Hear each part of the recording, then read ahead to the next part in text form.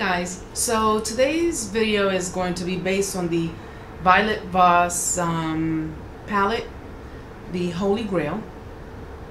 And then I just used, this came out about two years ago, a Divergent set palette. And I used just one color as the highlighter color. And um, yeah, and the lipstick is from Maybelline. If I can look and the name is Dar Daringly Nude.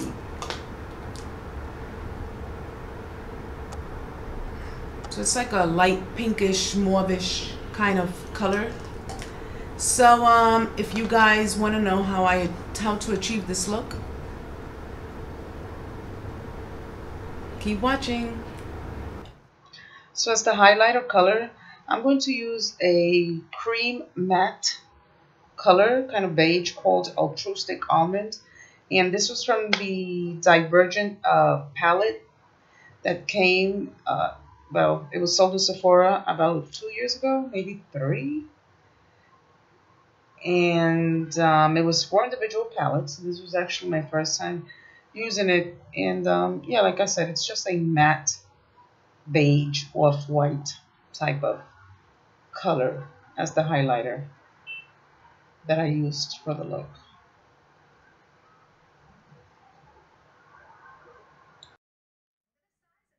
You're getting the big Oh shit! All of this for So, as you saw what happened, I'm going to use now on the inner corner, on the inner corner, it's the color, it's called So Jelly. It's a beautiful frosted pinkish color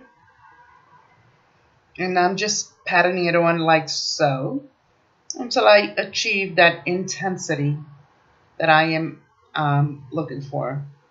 This palette, it's um, the colors, they are well pigmented. I have nothing really bad to say about it. I did notice that depending on the brush that I use will depend on the amount of color it picks up. And right next to it, I am using Cranberry Splash. And that is actually a, another frosted color. And the name fits it, fits it well because it is actually a cranberry color. It's uh, just frosted. And I'm just, once again, patting it on till I achieve the intensity or opacity desired. And as you can see, I'm often going back and forth, looking at the other eye, just making sure that the application is actually even. And then in between as the transition color, I'm usually, I'm using actually a combination. The first one is called transition, which is like a matte uh, medium brown color. And then the one next to it is called hashtag, which is like a it's another matte pumpkin orange color. The reason I used it both together, I tried the transition, which is a matte medium brown color. I don't know. I didn't feel that you could actually see it too much against my skin tone. So I found that by mixing it, I got a better color payoff. And so that's why I mixed both of them. And the camera isn't picking it up much, but you can definitely see it better when I mixed it in than when I put the transition color. Then the next one is going to be at the bottom. It's called Wine and Dine. And once again, the name definitely fits it to a T. It's a matte color, and it's actually just a wine color, as you can see. And I'm going to apply that on the outer part of my eye. And I'm actually um, using an, a regular eyeshadow brush.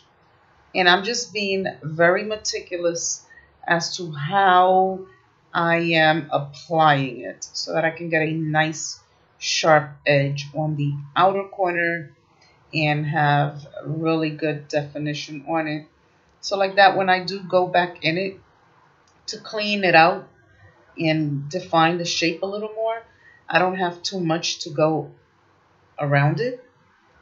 So, and I'm also being kind of careful how I'm depositing the color. So I'm just taking my time to ensure evenness.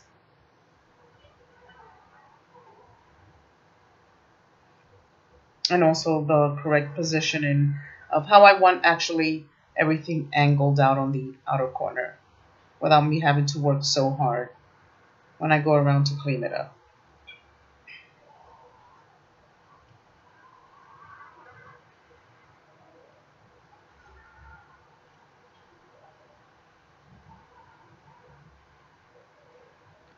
And now I'm just going to take a fluffy, kind of stiff brush.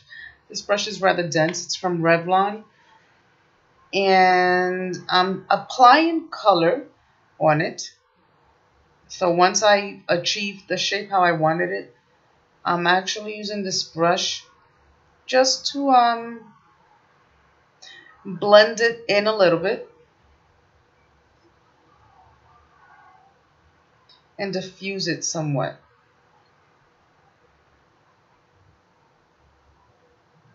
So that is actually what I'm doing at this point.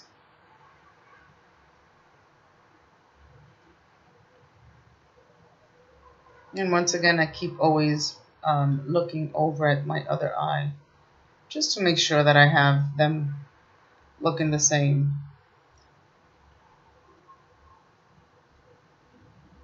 especially since that's my bigger eye.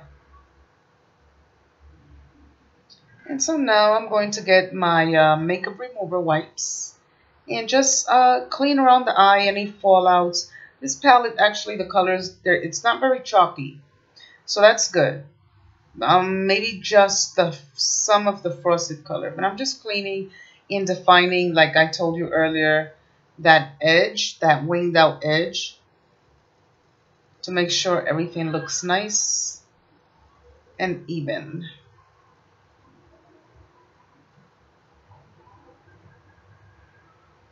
Now I am going to put on my eyeliner. This is from Avon. It's in black. It's called Extra Lasting Eyeliner. I love this eyeliner.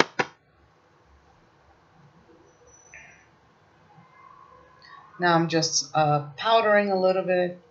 I already had my foundation on and I did contour, so.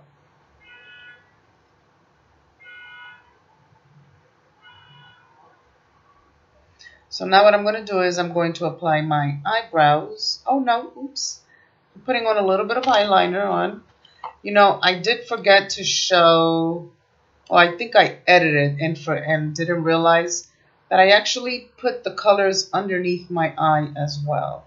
And I put them in the same order that frosted pink in the inner corner, um, cold so jelly in the middle, the cranberry splash, and then on the outer corner, the wine and dine. That's all I did. And now I'm just putting on a black eyeliner, which this one is from Avon too.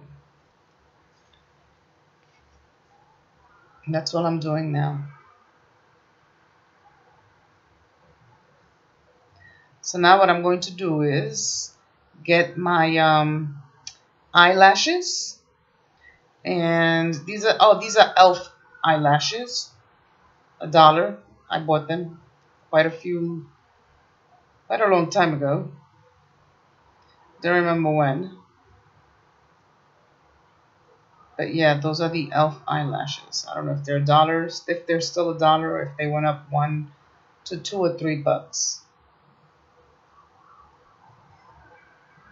I also did apply mascara and I put on the Clinique High Impact Mascara.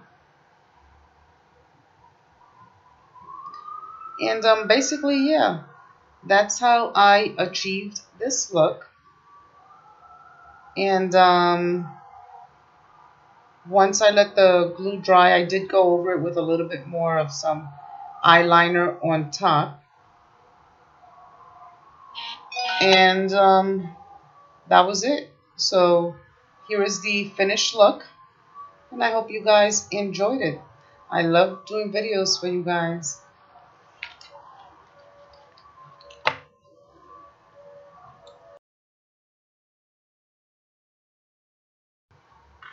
So here's the finished look, guys.